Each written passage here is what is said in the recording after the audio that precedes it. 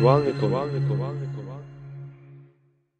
Władze powiatu konińskiego podsumowały mijający rok. Jak mówi Małgorzata Waszak, było to 12 miesięcy pełnych inwestycji i wytężonej pracy. Po raz 13 nagrodzono osobowości naszego powiatu, m.in. w kategorii społecznik, sponsor, kultura i sport. Wójt Ryszard Nawrocki, włodarz Starego Miasta, został wybrany najlepszym samorządowcem 2011 roku. W kategorii społecznika statuetkę otrzymała holenderska fundacja. Najlepszymi sportowcami okrzyknięto boksera Igora Jakubowskiego i kolarza Adama Stachowiaka. W kategorii kultura bezkonkurencyjny był Kamil Wasicki z zespołem. Podczas gali powiatu konińskiego wyróżniono także przedsiębiorstwo usługowo-produkcyjne Galvamet Romualda Frankowskiego, Roberta Kopieckiego i zakład betoniarski oraz łowisko specjalne u Roberta w Kleczewie. Kapituła wybrała także cztery osoby zasłużone dla rolnictwa. Jak twierdzi Małgorzata Waszak, starosta koniński, mijający rok nie był łatwy, a nadchodzący również nie zapowiada się kolorowo. 2012 rok to trudny budżet y, dla samorządu powiatu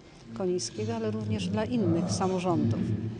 Y, Dlatego też y, będą zadania drogowe na mniejszą skalę niż dotychczasowe, ale w miarę możliwości finansowych chcemy nadal realizować remonty dróg, ale również y, nie chcemy zapominać o tych celach y, wcześniej wyznaczonych.